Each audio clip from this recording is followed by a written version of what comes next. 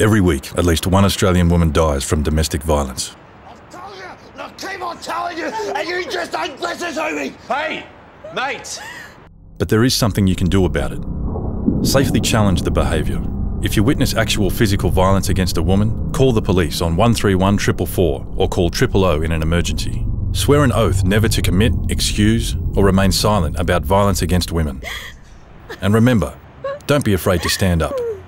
Thousands of good men have got your back.